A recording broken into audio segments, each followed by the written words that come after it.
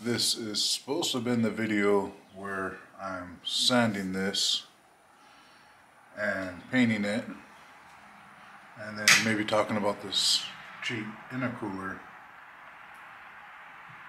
But I got some problems.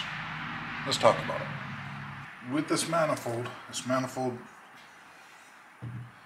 may or may not work with the treadstone downpipe I don't have a way to make my own downpipe and if I gotta tow my car someplace to have one custom made, that is gonna be a lot of money. Um, it's probably gonna cost more than just buying the correct downpipe. Worst case, if it doesn't work, I'll just buy a treadstone manifold. And then I found out that none of the cheap Chinese turbos have a two and a half inch outlet. I found that out through a YouTube channel, uh, Worldwide B15s. I will link it in the comments. So it looks like in order for me to get the downpipe to work, I need a T31 flange. Cheapest turbo I can find with that is going to be a precision turbo, about $800. It's going to be $800 turbo sitting on top of this cheap manifold that may or may not work. So if this manifold doesn't line up, and I have a hard time believing it will line up perfectly, is I'm going to end up having to spend another $400 to get the correct manifold. So I'm at 1200 bucks just for a manifold and a turbo. I'm already out the cost of this. Okay, next thing, the intercooler. See a closer look. It's a barn fin. It's cheap. But we're talking with another guy, uh, I believe his name is Matt, he was getting really bad air temperatures using this intercooler. It wasn't very effective. Uh, he switched over to a Treadstone TR8 and his, his air temps dropped like 40 degrees or something. So that's a huge amount. So that alone is, um, you know, kind of sold me on upgrading to the TR8. Now it comes to the piping. The way I'm going to route it, I can cut all this up but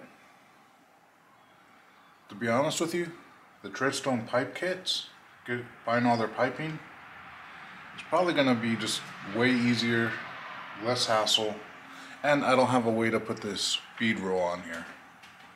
And I don't want to really do it cheaply either. If I'm going to do it, I kind of want to do it right. So I don't want to spend $400 for a machine to make this bead roll. And so now this turbo kit coming going for about $1,500 to two grand uh, is now going to be costing about 3000 and when I started doing the math the Treadstone Turbo Kit buying it all together without the AFC you are looking at just under $3,000 not including shipping and tax and all that. Well by me piecing it together I'm not saving anything and I'm getting parts like this, the clamps, that I believe these are steel, where the treadstone is going to come with stainless steel. I think the treadstone pieces, couplings and stuff will be better. So now I'm at a point where I think I'm just going to pull the trigger this week and order the full treadstone kit.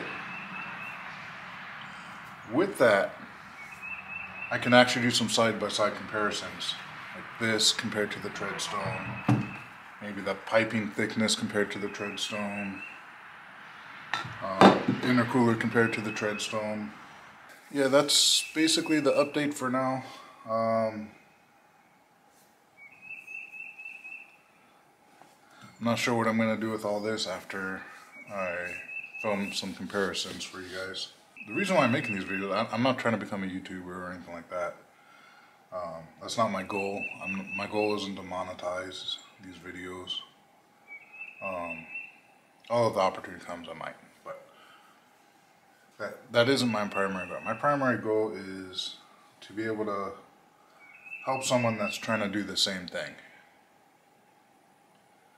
and letting you know what issues you're going to come across while you're doing it and how I've been able to resolve them.